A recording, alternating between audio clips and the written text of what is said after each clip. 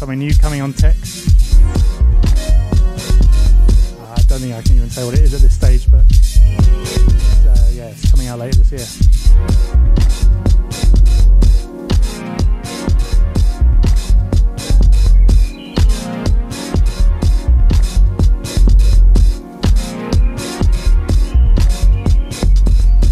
Before that was uh, Disco 82, Rajesh Roshan,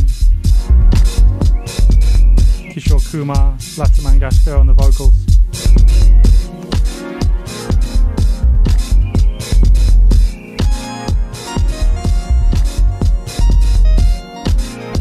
Got a mad crush on that record right now. I keep play it like 10 times every day.